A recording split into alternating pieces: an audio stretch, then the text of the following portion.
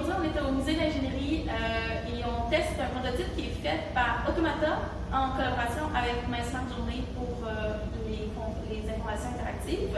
On va regarder comment ça se passe. C'est un prototype qui a été fait euh, dans le cadre du projet PRISM, donc un groupe d'innovation muséale. Et le but, c'est que ce soit sans contact. Donc, j'arrive dans un espace comme ça et il y a quelque chose qui m'intrigue au sol et je vais marcher. Et quand je vais marcher, il va y avoir un déclencheur. Qui va attirer mon attention.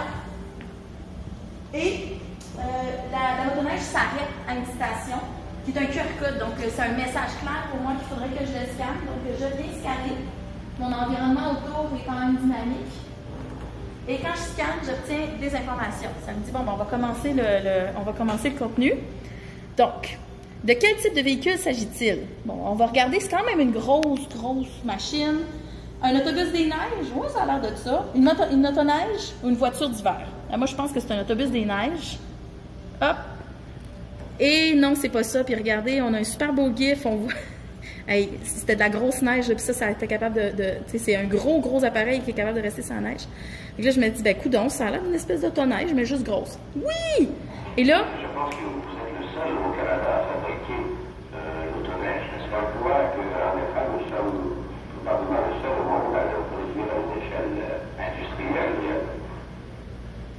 Donc, euh, une, une, vidéo d'archive. Prochaine question. Vrai ou faux, d'après toi, le moteur de l'autoneige se situe à l'avant ou à l'arrière du véhicule? Eh moi, je regarde, là, pas plus folle qu'un autre. Il y a une porte en avant, puis en arrière, il y a des ventilations. Fait que je vais dire que ben, il n'est pas à l'avant. C'est faux. Alors, on va y aller faux. Bonne réponse. Et là, on nous montre de quoi ça a l'air à l'intérieur. Donc, c'est super cool. On pourrait même imaginer une vidéo interactive avec un guide. On va à la prochaine question. Combien y a-t-il de sièges dans cette autoneige? Je connais déjà la réponse, c'est 6. Et voilà, et on nous montre l'intérieur, parce qu'on ne peut pas rentrer dedans, ce qui est comme un peu mon rêve. Je, réclame une reproduction. Et prochaine question, lequel de ces énoncés est faux? Donc, euh, je sais que c'est pas pour escalader le mont Everest, et ça va me donner une autre vidéo.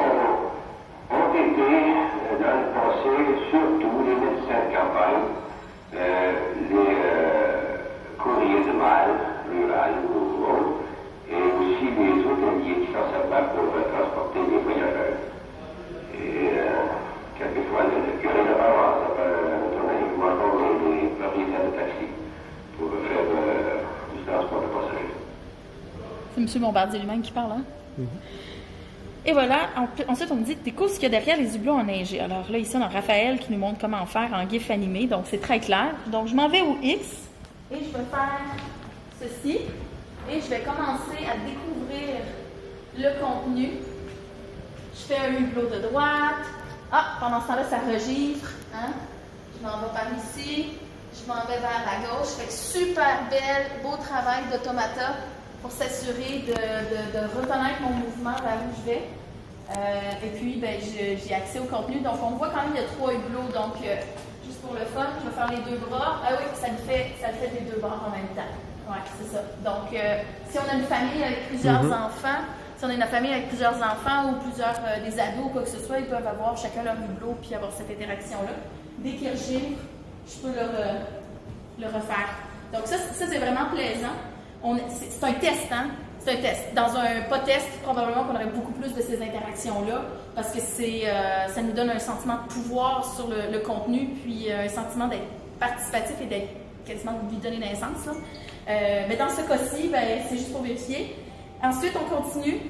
Et on nous invite à prendre une photo avec une photo avec le, la, avec la motoneige. Donc, je vais me prendre en photo.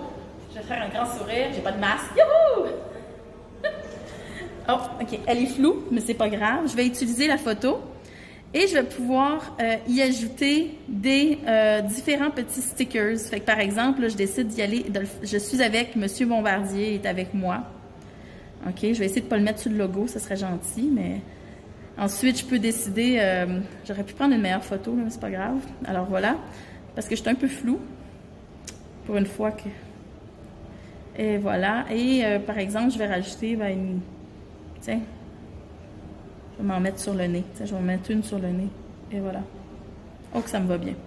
C'est merveilleux, c'est une œuvre d'art incroyable qui reste dans ton téléphone, Raphaël, en passant. Et puis, ben, quand je télécharge ma photo, ben, on la voit ici. Donc, euh, j'ai un souvenir qui peut rester là. Et euh, je sais pas comment retourner à l'autre. Parce que je suis une vraie. Écoute là, je sais pas si tu l'avais fini.